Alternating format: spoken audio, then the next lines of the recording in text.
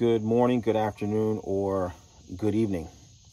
Uh, whatever time of day it is that you hear this message, I pray that your mind, your heart, and your spirit are all poised to receive, to accept, and to respond to words of wisdom. Ashe. In the diaspora, the African diaspora, the Yoruba diaspora, there's a big percentage of people who come into the tradition as patients, as clients.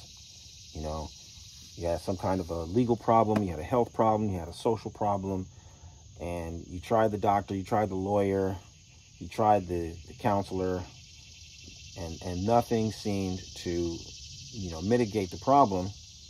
And one way or another, you ended up on the mat with the babalawo. And by the end of the saga, you were initiated into something. And, and, then you were dubbed a priest or a priestess. But that was not your original intent, right? Your original intent was to solve your problem, all right? There's nothing wrong with that. There's, there's nothing inherently flawed about that particular trajectory. Uh, it's just that that isn't the most traditional way that priesthood comes about. Okay, it's not the most traditional way. Now, in the realm of Ifa in particular, but by extension, this is equally true of Orisha. Your parents would have been uh, priests and priestesses themselves, or they would have taken you uh, to the Babalawo to cast Ifa for you as a matter of course, because that's what, what Yoruba people traditionally do. You know, shortly after the child is born, you go consult Ifa. Ifa says this is the path of fulfillment for this individual. He is marked for this priesthood. She is marked for this priesthood. So they would start immediately from your birth, training you and conditioning you for the priesthood. And in the case of Ifa, by the time you get to be about seven or eight, they're going to send you off to the house of another Babalawo where you're going to be an apprentice for maybe 15 years. Okay, that is the way it, it, it happens. In the case of Orisha, you're probably going to get trained up in your own family home. But either way, it starts off with you learning all of the precepts and the habits and the perspectives and the um, the actual technique associated with devotion to one Orisha or another. So it begins in the most traditional format with devotion. Okay.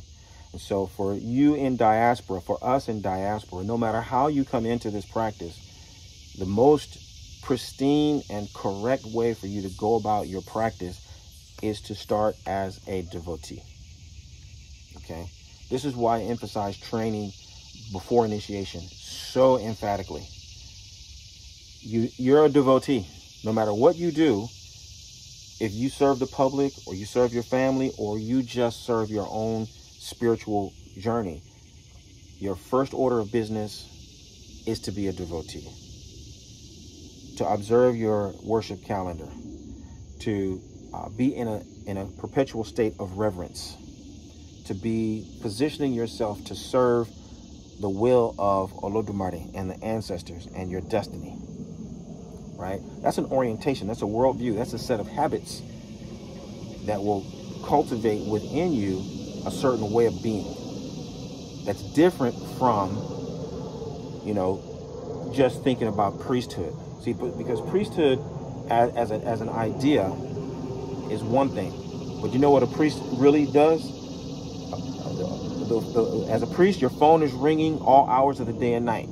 People are, you know, nowadays the people are in your DM and your in your inbox, 24 hours a day, seven days a week, and um, the expectation is that you're available, right? As a priest, they're calling you and reaching out to you at any hour of the day, any day of the week, because when they have a problem is when you're supposed to be available. That's what it means to be a priest.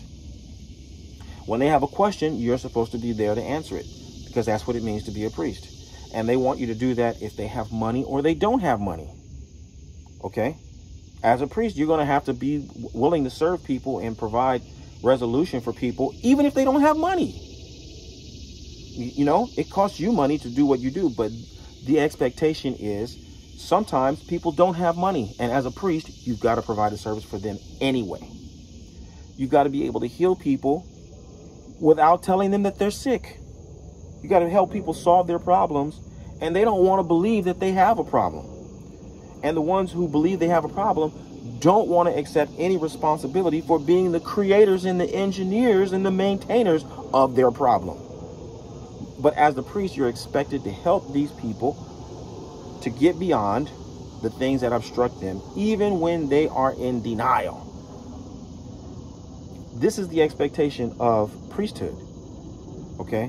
And so the only way that you're going to be, you know, have the mindset to address those kinds of problems and effectively help people achieve the goals that they have for themselves, the objectives that they have for themselves, is you can't be doing it from the perspective of, I'm a priest right? You've got to be in service. It's the only spirit that's going to carry you through. You is service. See, I'm not I'm not doing this even because of you or you or you. I'm doing this because of my devotion. I'm doing this because of my service.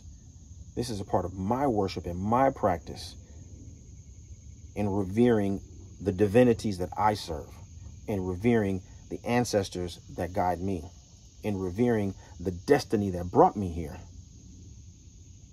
See, that has nothing to do with priesthood. When you're in a state of devotion and you are serving the deities, when you're serving the ancestors, when you're serving your destiny, you're fulfilling your destiny, you could be doing it as a as a lumberjack. You could be doing it as a chemist. You could be doing it as an auto mechanic. You could be doing it as a teacher. You could be doing it as a carpenter. Your title doesn't matter. Your title does not matter. It's your intention coupled with the specific skills and abilities that match that intention. Right? You've mastered the art of devotion and all of the techniques that go along with it.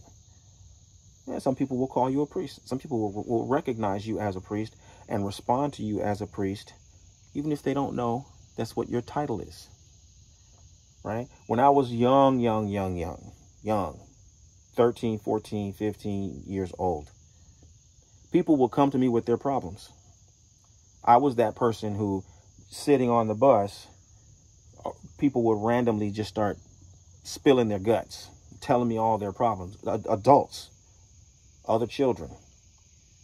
I was the person that the the you know maybe the mentally ill people would sit down and have a calm conversation with. Just naturally. It's just naturally. Right? And so when you have that call, when you are charged to show up in the world in a certain way, the way you cultivate it, the way you take it to the highest level of refinement is through your devotion, It's through your service.